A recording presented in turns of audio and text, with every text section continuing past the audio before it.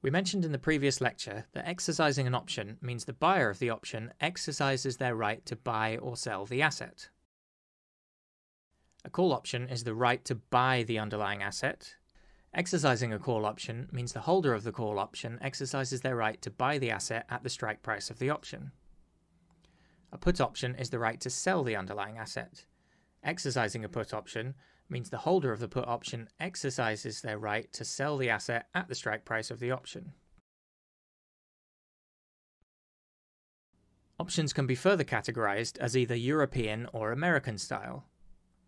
The main difference between the two relates to when the option can be exercised. American style options can be exercised at any time before expiration. For example, assume that a trader holds an American style call option of stock XYZ with a strike price of $50. That means they have the right to buy XYZ for $50 per share. As the option is an American style option, they can exercise that right at any point they choose before the option expires. In doing so, they will then buy the stock at a price of $50 per share. So if the share price has increased to $70, for example, the trader could exercise their $50 call option and buy the stock for $50 instead, saving $20 per share compared to buying the stock at the current market price of $70. European style options are only exercised at the moment they expire.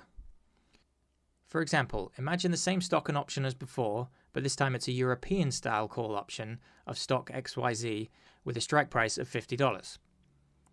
They still have the right to buy XYZ for $50 per share, but because the option is European style, they cannot exercise this right until the moment of expiration. So if the share price increased to $70 before expiration as before, the trader cannot immediately exercise the option and buy the stock for $50 per share. You may be thinking, why would someone choose to trade European options if they are forced to hold the option to the expiry date? This is a very common question of traders new to European options. The answer is that the option buyer is actually not forced to hold the European option to expiry. While they cannot exercise the option early, they can simply sell the option back to someone else. This will close their position and bank the profit. Doing this will normally result in a larger profit than exercising would have done anyway, due to something called extrinsic value.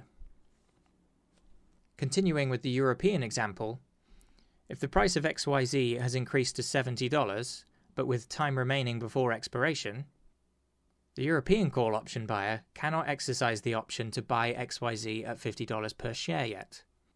However, what they can do is sell the option to someone else. The value of this $50 call option will also be higher than the $20 difference between the $70 share price and the $50 strike price of the option, due to the extrinsic value we mentioned it may be valued at, say, $22, giving the trader an extra $2 per share profit compared to exercising the option. This $2 extra is the extrinsic value. We will study extrinsic value in detail later in the course. In summary, exercising an option means exercising the right described in the contract, i.e., buying or selling the asset at the strike price. The right given to the buyer of a European option can only be exercised at expiration, whereas the right given to the buyer of an American option can be exercised at any time. Closing an option position by buying or selling the option, thereby reducing the outstanding position to zero, is different to exercising the option. With both European and American style options, the option can be bought and sold freely before expiration. This means traders of both European and American style options are able to close or adjust their positions before expiration.